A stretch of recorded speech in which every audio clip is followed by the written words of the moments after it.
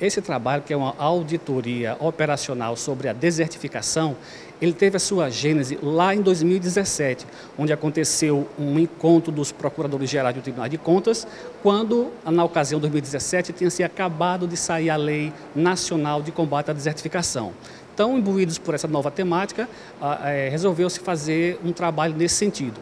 O Tribunal de Contas do Estado da Paraíba, ele encabeçou para fazer esse trabalho de auditoria operacional no seu estado sobre a desertificação. Mas aí o, o, então conselheiro responsável por essa auditoria propôs à equipe que não ficasse apenas na Paraíba, mas que fosse estendido aos outros estados do Nordeste que sofrem mais com, essa, com esse problema da desertificação. E especificamente na região do semiárido nordestino, onde são áreas mais susceptíveis à, à desertificação. Então, através da rede Integrar, que é uma rede que ela procura trabalhar muito com políticas é, é, públicas descentralizadas, de cooperação.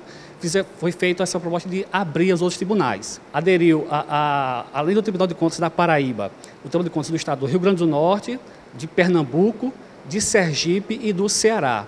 Então, é, é, ocorreu esse, esse meu termo de 2017 até hoje, a pandemia, ficou paralisado esse processo e voltou agora, para 2022. Então, começamos a, a, a, essa auditoria, já concluímos a etapa de, de planejamento dessa auditoria e estamos na fase de execução da mesma. Existem políticas públicas, a política pública nacional, e a política pública estadual. E cada estado tem a sua política pública, embora sejam muito parecidas, mas tem suas peculiaridades. Então, na fase de, de planejamento, como a política pública é federal e nós focamos na política pública estadual, então o foco foi o governo do estado em que, através das secretarias afins a essa temática, nós passamos a fazer entrevistas, contatos estudos e análises a respeito desse, dessa, dessa temática. Como a desertificação ela acontece no município, o que acontece? A gente tem que ter algum acesso a eles. Como temos, é, no caso do semiárido Potiguar, 141 municípios, ou seja, 84% dos municípios do RN estão no semiárido, uma, uma região susceptível à, à desertificação.